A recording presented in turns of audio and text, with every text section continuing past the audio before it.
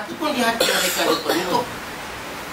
Baru kita buka Kita pun tinggal Allah Hari ni nak pergi bazar Ramadan kejap ni Tutup lah Baru je buka Quran tuan-tuan Syaitan cuba alihkan tadabur kita Eh tadi dah ambil belum barang dia? Dia diingatkan Baru nak buka Quran Tengah tengok insek Oh ada mesej pula Malah pula mesej Baru nak buka Quran tuan-tuan Macam-macam cerita Itu nak buka. Bila ngaji pula? Yang saya pernah sebut pada tuan-tuan. Cuba tuan-tuan letak sasaran Saya nak baca Quran hari ni satu diri Tengoklah macam mana. Macam cacing kepanasan. Tak boleh habis satu diri Macam-macam macam Macam-macam gangguan. Itu belum kata saya nak baca sebuah Quran.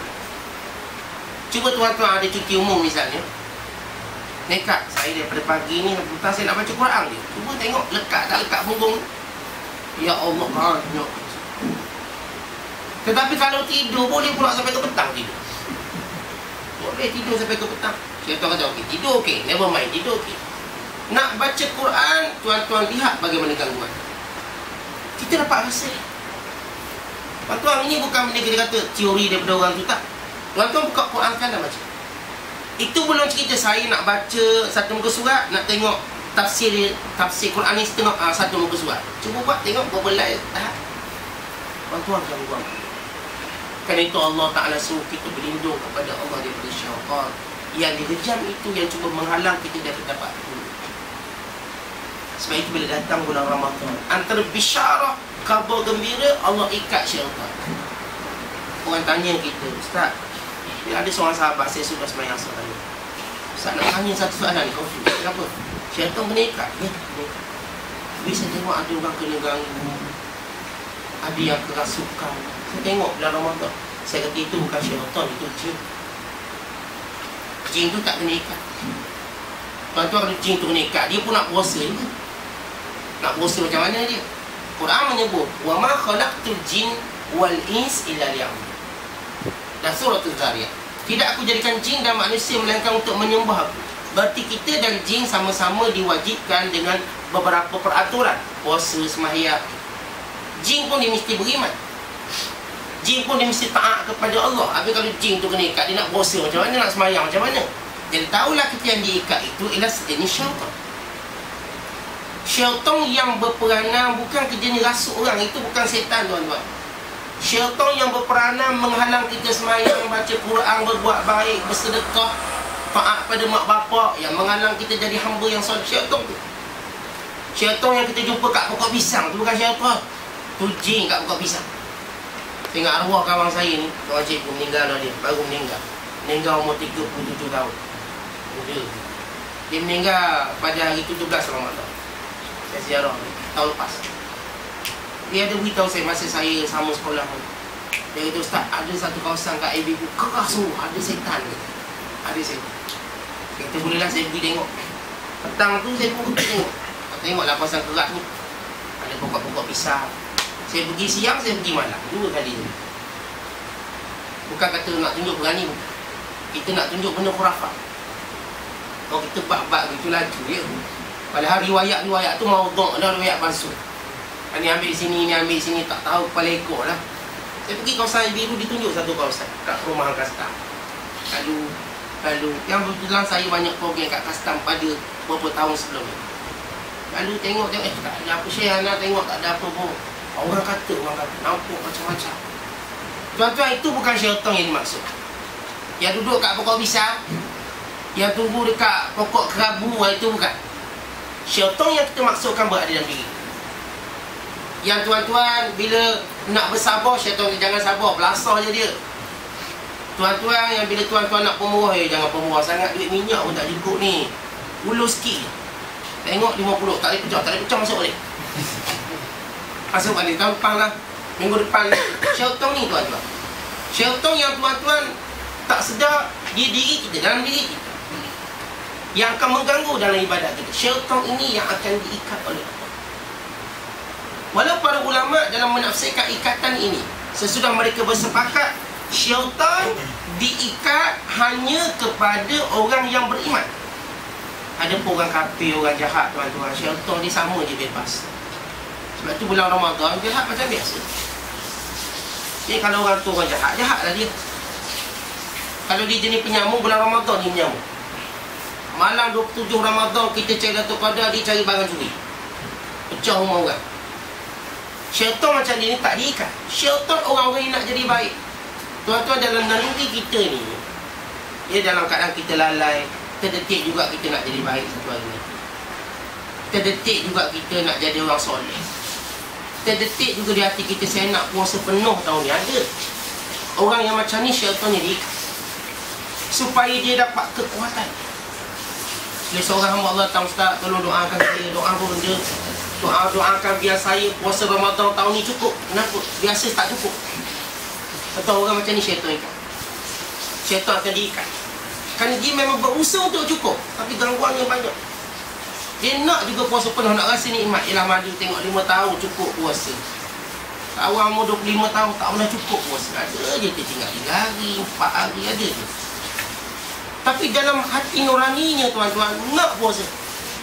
Dalam hati nurani Orang-orang ni tuan-tuan Nak kiamulat Nak kiamulat Ingat ada beberapa sahabat saya share Kami nak rasa nikmat kiamulat Boleh tak gerak kita? Nak bangun kiamulat Sedap tak sedap yang mulai Dengar orang cerita yang mulai ni sedap. Tuan-tuan Dia tak subuh pun payah bangun Tiba cerita kat kita nak bangun yang mulai Saya kata tak apalah kita cuba ke? Pukul 2 pagi saya pun gerak dia. Melenting bangun dia. Nak memang dia nak Tidak setiap manusia dia nalui nak baik Masa nak masuk tandas. Syekh takut ni Syekh temang sikit boleh temang Dia tak apa kita temang masuk Kebetulan tandas tu tuan-tuan Ni dia punya atas ni pula pecah. Allah dia duduk ngintai atas saja. Ambil wuduk tengok. Ambil wuduk takut tak keluar kaki makhluk mana. Dia punya takut tapi nak kira lain nak kira mulai. Dia cerita ke, dengar kelebihan kira mulai. Dia pun dengar cerita hantu tengah malam. Dengar mulai tu. Bila nak buat ibadat benda tu bercampur. Akhir semayang kira mulai. Tak banyak semayang tuan-tuan. Dua rakaat ada empat. Tiga empat orang. Sahabat-sahabat saya. Alhamdulillah dapat Allah Syekh betul lah Yang mulai ni sedap. Rasa lain. Feeling dia lain. Entah rasa macam mana. Masa anak kat takbir nampak ada berdebuk jatuh Setan jatuh Nampak dia kata Itu dia rasa ringan badan dia tu tuan-tuan. Artinya Ini yang kita namakan orang yang nak baik Saya yakin saya percaya orang macam ni ramai dalam dunia Islam. Sebab itu tuan-tuan lihat masjid Bila datang Ramadan penuh Maksudnya taklah penuh sampai keluar. Penuh sikit lah. Dua soft pak soft? Nanti orang ni, orang yang ada naluri kebaikan Tapi tak ada kekuatan Sebab syaitan dia lebih gemuk dari dia. Yang boleh pergi ni Walau bukan Ramadan Dia lebih gemuk pada syaitan Dia lebih gagah Yang boleh pergi bulan Ramadan je Sebab syaitan ni gemuk pada dia. Kerana itu mampu ganggu dia. Tapi datang Ramadan ditambah, diikat Akhirnya dia mampu salat subuh berjumpa. Kawan mana kawan-kawan kita yang kita tak jumpa dia Subuh hari lain tapi bulan Ramadan Masya Allah Datang awal, awal pada kita Awal pada Tok Bila Dia marah pula Tok Bila Kenapa Bila nampak? Oh Allah action Baru bulan Ramadan jadi baik. Tapi dia punya naluri nak baik tu luar biasa.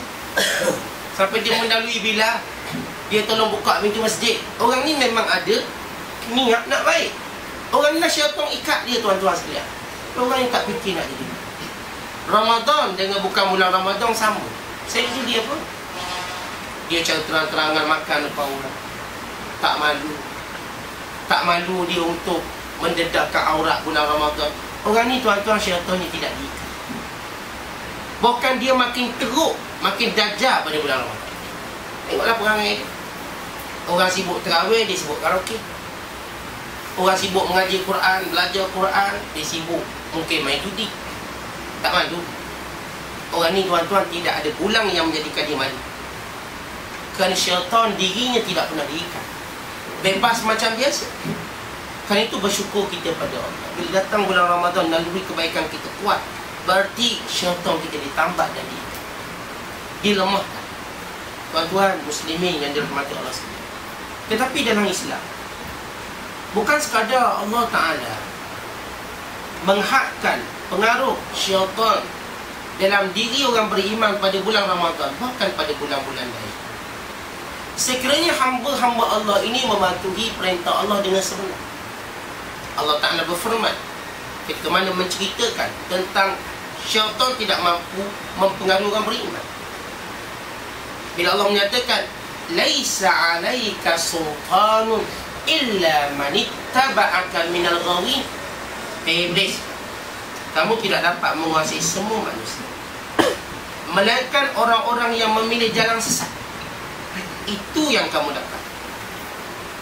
Syaitan sendiri mengakui iblis sendiri mengakui bila dia berkata la ughwiyannahum ajma'in illa ibadaka minhumul mukhlasin. Wahai tuhan aku akan sesatkan semua manusia. Tapi aku tahu hambamu yang ikhlas kepadamu aku tidak mampu melakukan apa. Hamba yang ikhlas. Artinya tuan-tuan di sini Allah Taala sebut dua sifat. Sifat pertama orang ikhlas tidak akan dipengaruhi oleh syaitan. Yang kedua orang-orang yang tidak mau ikut jejak langkah syaitan dia juga tidak akan dapat dipengaruhi oleh syaitan. Tak nak ikut jejak langkah syaitan. Macam mana tak nak ikut tuan-tuan bila sampai waktu solat, maka dia solat. Dia tak ikut jejak langkah syaitan yang kata jangan solat. Bila datang bulan Ramadan, maka dia berpuasa. Dia tak ikut jejak langkah syaitan kata jangan puasa. Bulan ni gastrik lah kamu. Tidak. Apabila dia nak keluar rumah, maka dia tutup aurat. Baik lelaki atau perempuan. Artinya dia sudah memilih untuk tidak ikut syaitan. Apabila ada peluang dengan ceramah, ada ilmu kuliah, biarlah tidur dalam kuliah pun tak apa. Dia sudah menyalahi tidak mengikuti syaitan artinya orang ni akan selamat. Sebab itu tuan-tuan bila kita nak atasi masalah anak-anak kita nakal atau masalah sahabat-sahabat kita yang tak berapa duduk jalan lurus macam mana? Ajak dia pergi tempat baik. Biar dia tak dapat manfaat lagi pun ajak dia. Kenapa? Bila dia berada tempat baik dia sudah tidak mengikut syaitan datang dengan ustaz kuliah ke datanglah ke masjid solat solat. Walau tak solat sunat tak apalah dia solat asar. Datang ke masjid untuk buat kerja-kerja gotong royong tak apa. Dia sudah menyalahi syaitan maka kelak dia akan selamat. Maka Allah Ta'ala sebut dua sifat. Ikhlas dawai tak ada ikut. Kan itu dalam Quran banyak Allah Ta'ala kata apa? Wala tattabi'un khutuwati syaitan innahu lakum aduwwum mubin. Jangan sesekali kamu ikut jejak-jejak langkah syaitan. Kerana dia musuh kamu yang nyata Allah kata anak kata jangan ikut dia hijab dia. Maka tuan-tuan anak-anak kita kita didik keluar rumah pakai tutup awal. Anak-anak kita kita didik. Waktu solat ni solat. Kita sudah mentarbiah dia untuk tidak ikut jalan-jalan syaitan sampai ke besar dia akan jaga sifat. Lepas ada seorang ibu. Dia fikir ustaz mau anak saya nak belajar kat Jepun. Ada nak belajar kat Amerika. Saya nak nasihat benda. Rasa dalam kepala banyak sangat dia duduk negara orang takut. Masuk Kristian Takut itu, takut ini. Banyak dalam kepala ni nasihat Nanti kalau nasihat banyak, anak saya kata bebek Kita tahulah, kita besar dah. SPM pun kita 10A Mak tak ada A pun. Eh, Mak nak cakap banyak-banyak nak bagi lecturing ke anak-anak. Anak-anak berkira, nak satu kalimah je Saya kata kalimahnya mudah. Cakap ke anak, jangan tinggal sebelah. Dia nak ke mana pun, jangan tinggal solat kerana Allah tak ada tahu dah, dah beritahu kita solat ni tuan-tuan induk segala ibadah. Seorang yang solat dia akan puasa. Seorang puasa tak semestinya solat. Siapa yang jaga solat automatik dia akan jaga puasa. Tuan-tuan jumpa tak ustaz dia solat bagi puasa tak? Dia tak akan jadi begitu. Tapi ada orang betul dia puasa tapi tak solat. Pak puasa ni kawan nak oh, oh, tak dia puasa. Bini dia pun tak masak bulan puasa. Alah puasa lah. Mungkin ada dorongan itu. Tapi solat ni tuan-tuan Memang dia datang daripada pemahaman orang. Sebab tu saya tak bimbang anak-anak murid saya. Saya nak tahu baik tak baik senang tu. Saya mengajar sekolah. Lain solat zuhur Biar saya mengajar pagi Zuhur Yang datang ke masjid tanpa saya suruh Saya tahu juga. Yang ni tu saya lantik dia kawan saya. Kalau ustaz ada apa-apa dia Kita panggil dia. Yang ustaz bila kita nak solat jemaah Dia, dia bukan sekadar solat tuan-tuan. Dia tunggu saya untuk berjemaah. Saya memang budak ni baik Memang latar belakang dia baik. Tapi kalau budak tak nak solat Kita suruh ambil wuduk Dia pergi minum air baik. Ambil wuduk Mandi air baik. Kita suruh semayang Dia pergi geletek kawan dia kat belakang. Kita dah tahu Mentaliti. Tapi kalau dia solat Tuan-tuan saya tahu. Ada anak murid saya ni Nakal-nakal ada Talipung Ustaz nak tengok talipung Macam-macam yang lucuk tu banyak. Ustaz nak nampak Jangan ustaz ayah saya punya Oh, saya kalau main ayah punya saya tak kata apa. Memang satu syarikat nak apa. Ayah macam tu. Kenapa awak ambil? Dia kata, Ustaz, aset saya rosak, ayah saya nak, aset ayah saya rosak. Tak boleh nak kau. Tapi dia pinjam aset saya, jadi bagian. Awak jangan tengok, saya tak tengok, cuma saya pegang. Budak ni saya nampak, bagus di satu tuan-tuan. Dia tak pernah ponteng solat. Tapi si dia lucah banyak lah tu. Dia, dia, ni yang, yang lucah ni banyak. Tapi solat Alhamdulillah Saya tengok dia ada solat. Dia ambil SYM lebih awal daripada apa saya semua InsyaAllah dia baik Cuma dalam, dia duduk dalam persekitaran dia. Namun dia ada satu tunjang yang hebat Solat. Lepas tu saya cakap sama ibu ini Inilah mak anak awak nak belajar Jepun ke Korea Utara ke mana-mana. Ada satu benda Jangan Sebab dalam solat ada lima rukun Islam. Tuan-tuan Dalam solat ni ada lima rukun Islam. Dalam solat itu ada kalimah syahadat dalam tahiyat asyhadu an la ilaha illallah asyhadu anna muhammadar rasulullah. Dalam solat ada puasa? Kita dalam solat tak makan. Bukan tak makan even tak bercakap. Puasa paling hebat dalam solat? Puasa luar solat ni sembang sembang kosong banyak juga. Tapi dalam solat mana kita cakap? Dah tak makan tak cakap. Ya zikir ini puasa hebat dalam solat. Tuan-tuan dalam solat kita buat haji macam mana? Bukankah kita menghadap Kaabah Orang pergi haji ni kan pergi ke Kaabah, keliling Kaabah. Kita mengadap Kaabah. Satu juzuk ibadat haji kita sedang buat. Tuan-tuan dalam solat bukankah kita keluar zakat? Zakat ikut mana pula?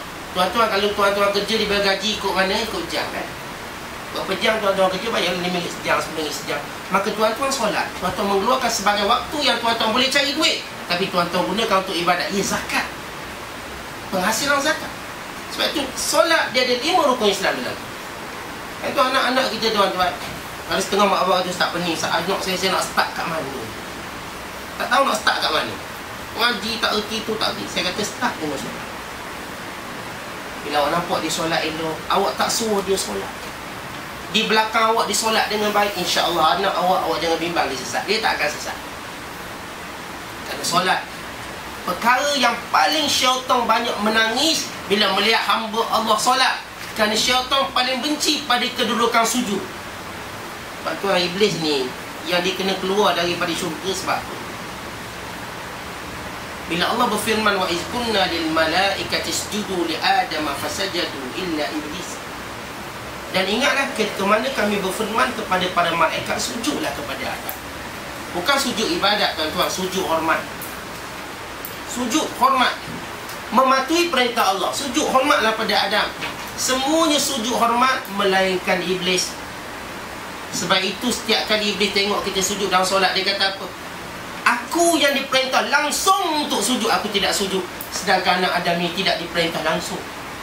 Maksudnya kita tuan-tuan melalui Ustaz-ustaz beritahu Ustaz ni pula ustaz yang beritahu Berlapis-lapis-lapis-lapis Sampailah Nabi SAW Iblis ni direct dari Allah. Allah beritahu direct Sujud Bukan ada perantaran tak Kata Iblis, aku diperintah oleh Allah sujud, aku tak buat. Anak Adam diperintah, dia buat. Ya Allah, belak patah tulang belakangku, Ya Allah. Tuan-tuan, setiap kali kita sujud, itulah kata syaitan paling benci.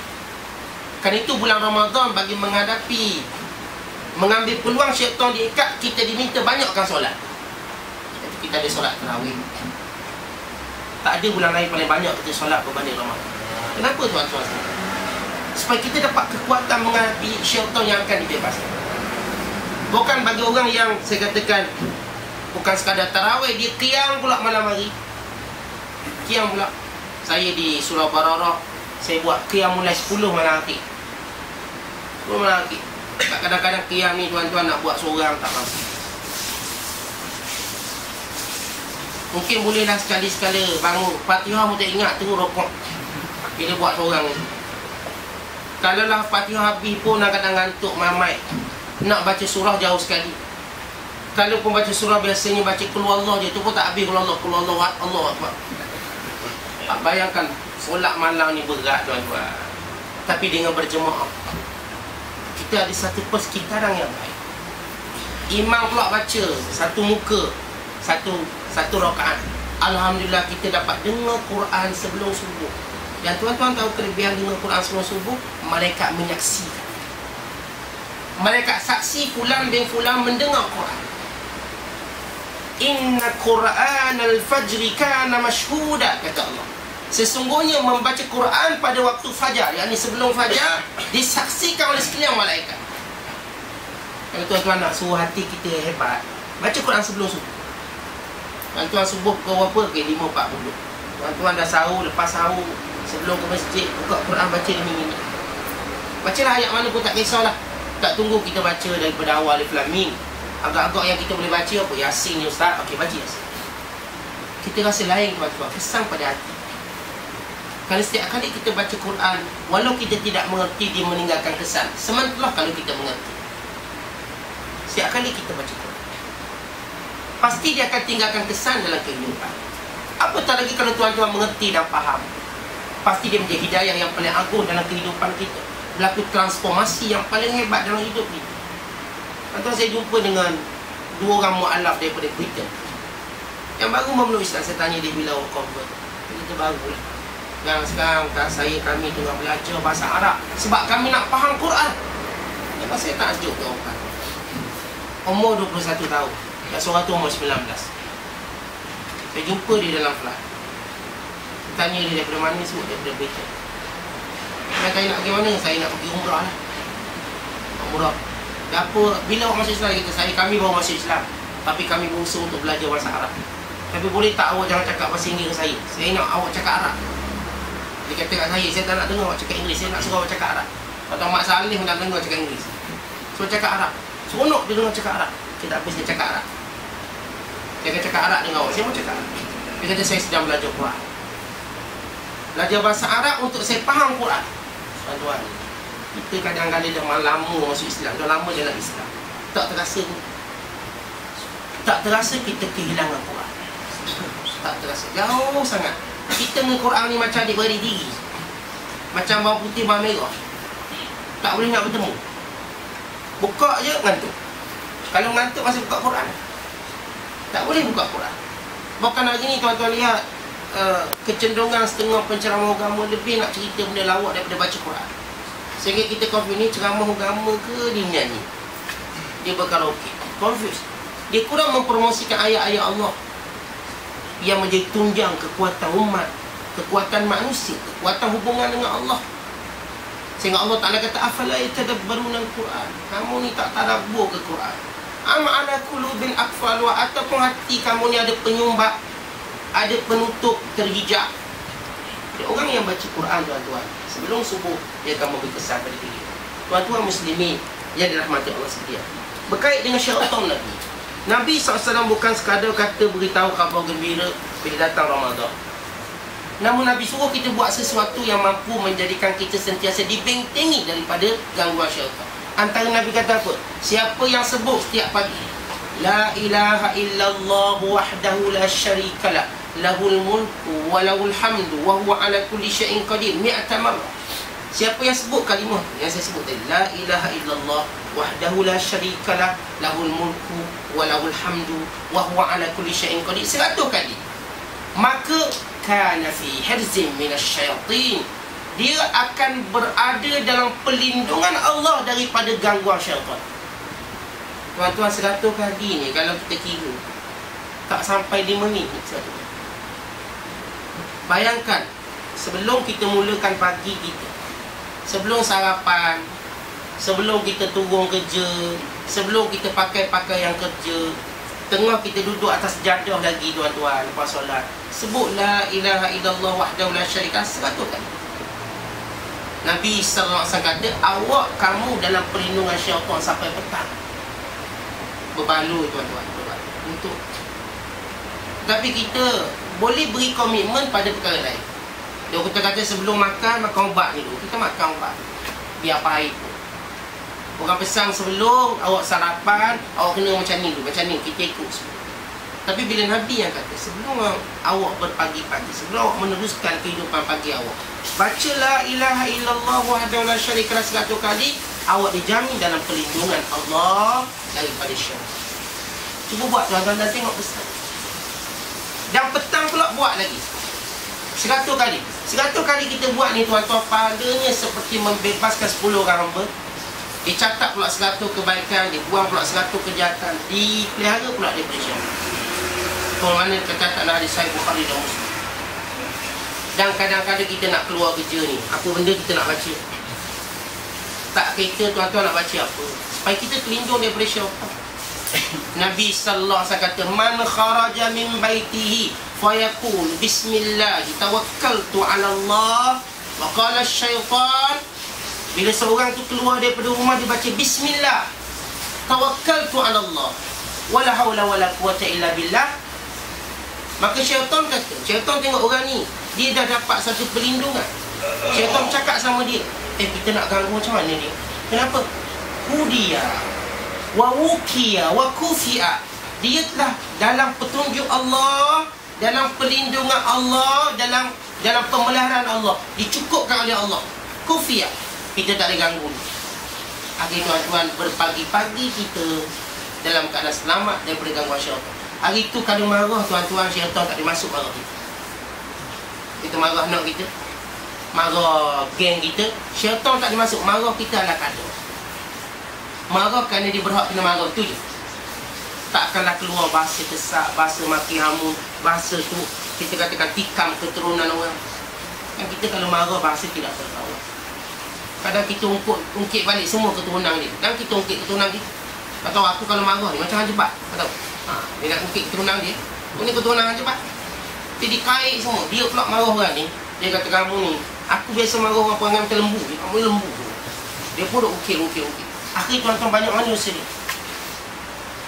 Benda tak macam mana Kecil dia Kadang-kadang tuan-tuan saya tanya sahabat saya yang kerja bagian cerai nikah ni.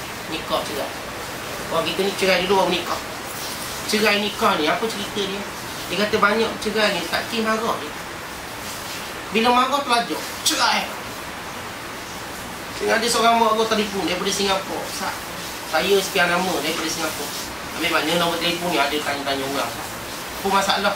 Ya, kita bercerai Tapi masa tu saya tengah marah Eh lah orang kalau tengah sayang tak bercerai Tengah marah bercerai tu Ada orang tengah sayang-sayang Jom kita belah madu Saya cerai kalau awak nak sayang Eh, dia kan Biasa tengah marah tu nak, nak, nak, cerai tu Talak tiga, talak empat Habis sah, sah, jatuh Tuan-tuan sekalian yang banyak cerai kerana marah Marah ni siapa yang ada? Siapa?